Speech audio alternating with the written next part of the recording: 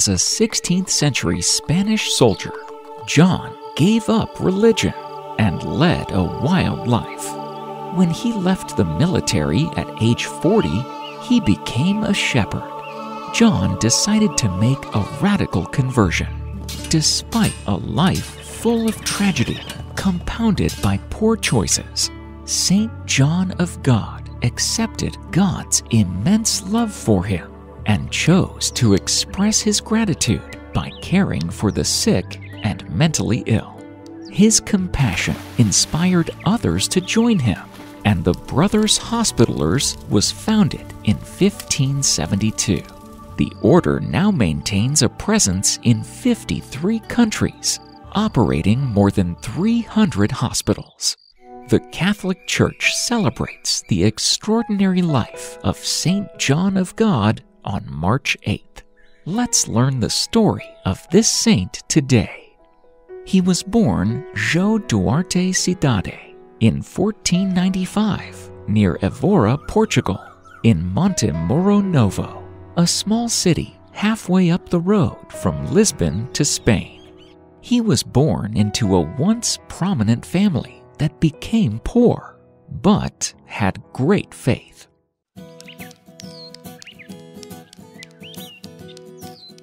Eight years old, John heard a visiting priest speak of adventures that were waiting with the new worlds being opened up. That very night, he ran away from home to travel with the priest and never saw his parents again. They begged their way from village to village he had nothing or no one to care for him. But one day, the boy fell sick. The farmer who lived nearby found him on the streets and took pity on him. He nursed the boy back to health and eventually grew so fond of him that he decided to adopt John. John worked as a shepherd in the mountains for many years until he was 27. The farmer was pleased with his strength and work ethics and offered to have him marry his daughter and become heir to the property. But John loved the woman as his sister and didn't want to marry her.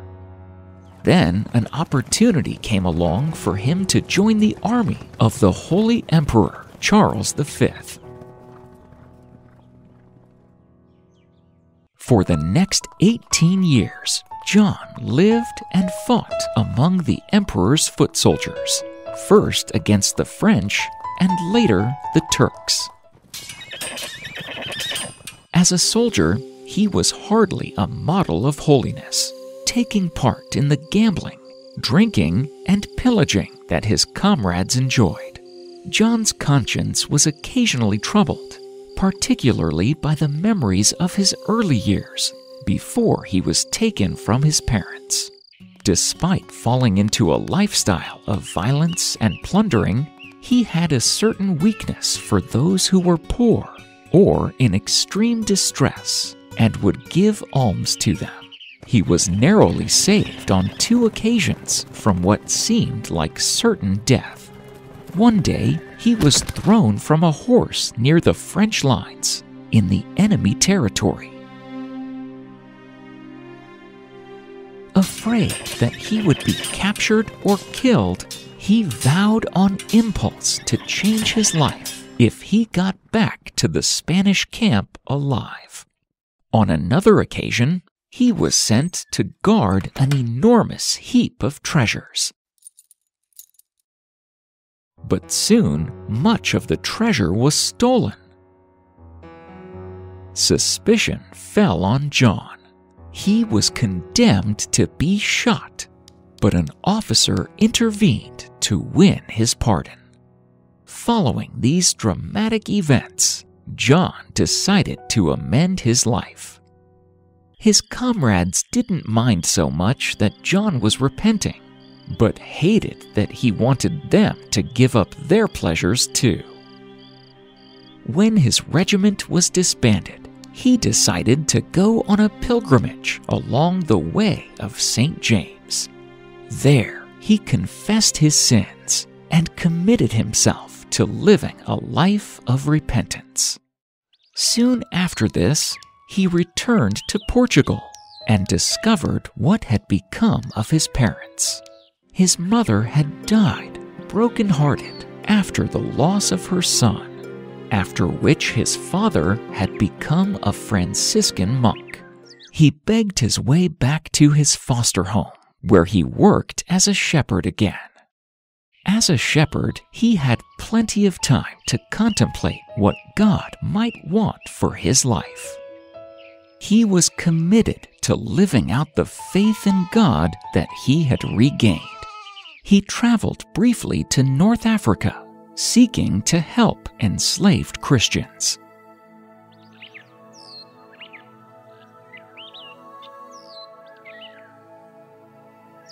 After two years, he returned to Spain. In Spain, he spent his days unloading ship cargoes and his nights visiting churches and reading spiritual books. Reading gave him so much pleasure that he decided that he should share this joy with others. He quit his job and became a book peddler, traveling from town to town selling religious books and holy cards. It was during this period of John's life that he is said to have been granted the vision of the infant Jesus, who bestowed on him the name by which he was later known, John of God. The vision also told him to move to Granada and set up a shop there. John was now happy and content. He was quite popular in that area. It was during this time that St. John of Avila arrived in town. Upon hearing a sermon on repentance from the famous preacher St. John of Avila, John felt overcome by the thought of his sins. He rushed back to his shop, tore up any secular books that he had and gave away all his religious books and all of his money. People thought the little bookseller had gone mad as he ran about town weeping in torn clothes.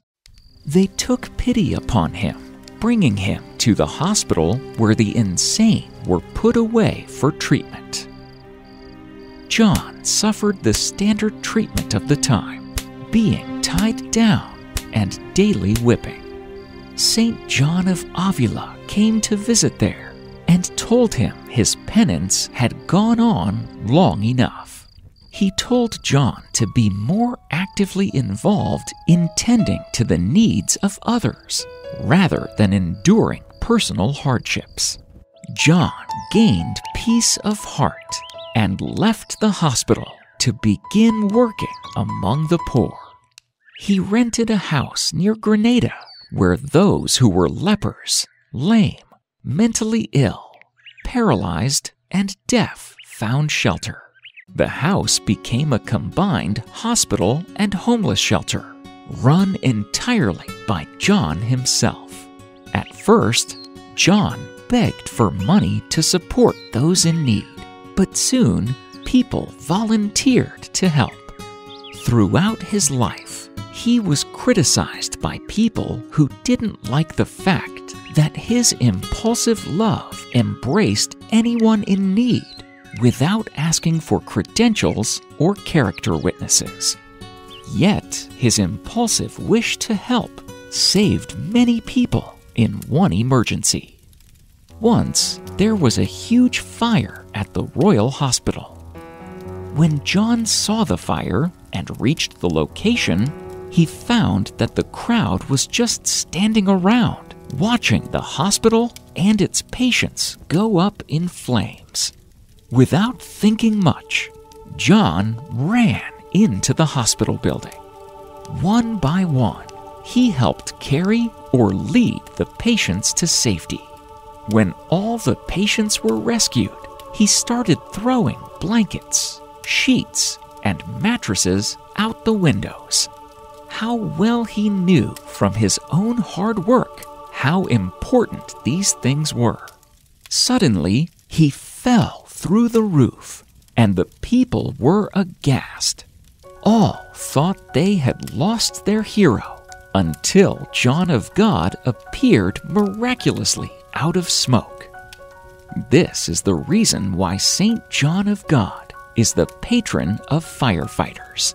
The Bishop of Granada approved his work and gave him the name John of God. John served the sick and poor for 15 years before meeting his death through an act of charity. He jumped into a freezing river and managed to save a drowning man. But he returned home shivering and weakened from the ordeal. He had caught pneumonia.